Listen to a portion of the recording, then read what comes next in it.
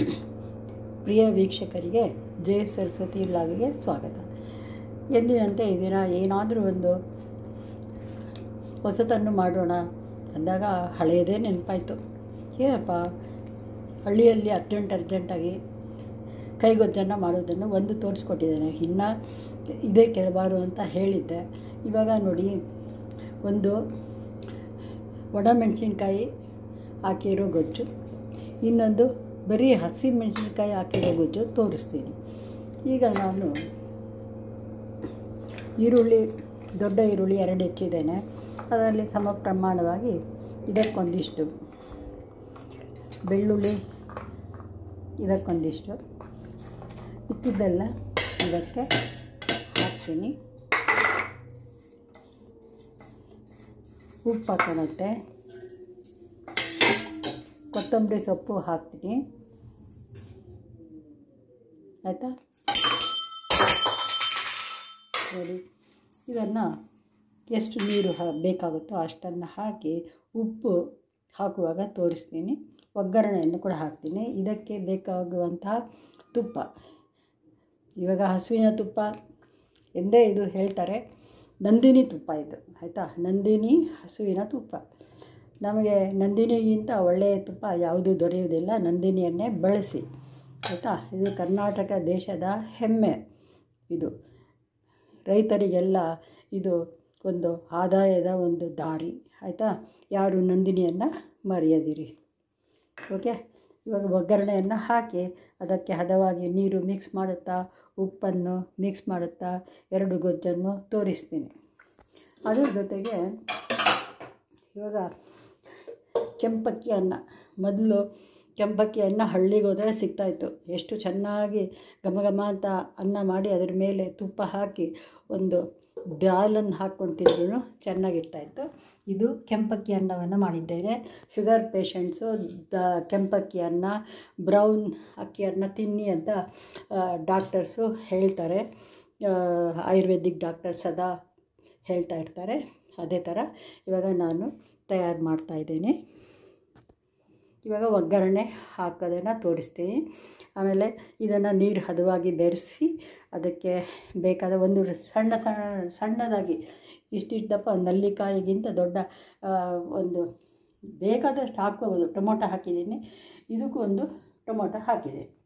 ಆಯಿತಾ? ನೋಡಿ ಗೆಳೆಯರ, ಈಗ ಹಸಿಮೆಣಸಿನ್ಕಾಯಿ ಗೊಜ್ಜು ಕೈಗೊಚ್ಚು ರೆಡಿಯಾಗಿದೆ ಆಯಿತಾ? ಅದಕ್ಕೆ ಒಗ್ಗರಣೆ ಅಷ್ಟೇ ಹಾಕಬೇಕು.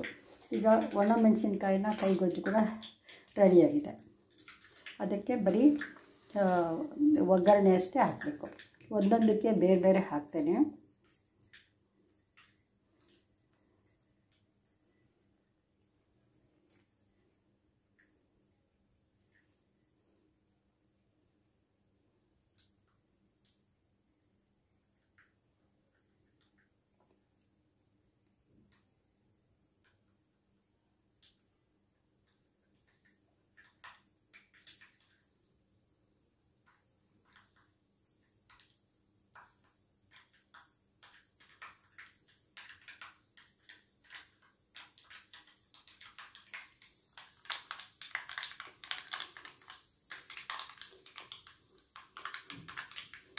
ಒಗ್ಗರಣೆ ಸೌಟಿನಲ್ಲಿ ಒಗ್ಗರಣೆ ಹಾಕ್ತಿದ್ದೀನಿ.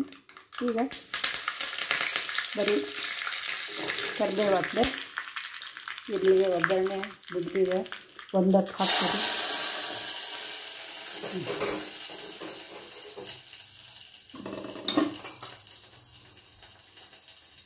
ಇನ್ನೊಂದಕ್ಕೆ ಹಾಕ್ತೀನಿ.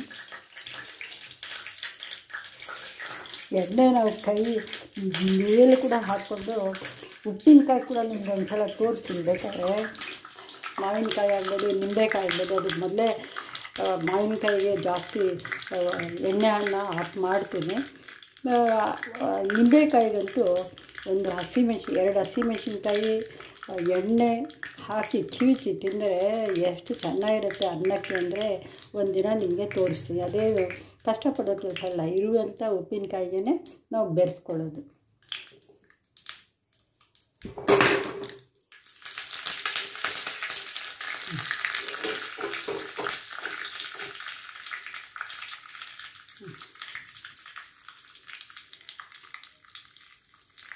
ಮುದ್ದಿದೆ.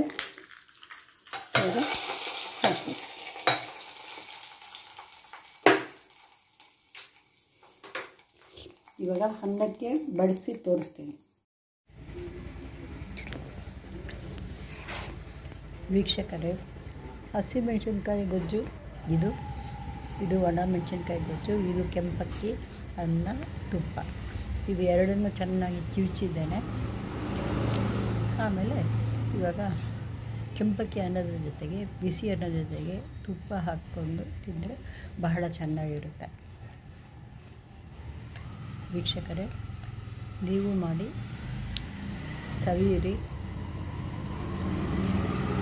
ಲೈಕ್ ಮಾಡಿ, ಶೇರ್ ಮಾಡಿ, ಸಬ್ಸ್ಕ್ರೈಬ್ ಮಾಡದೇ ಇರುವವರು ದಯವಿಟ್ಟು ಸಬ್ಸ್ಕ್ರೈಬ್ ಮಾಡಿ. ನೋಡಿ, ಇದರಲ್ಲಿ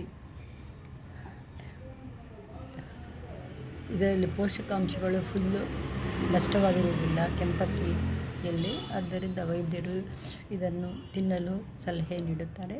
ನೀವು ತಿನ್ನಿ. ವಂದನೆಗಳು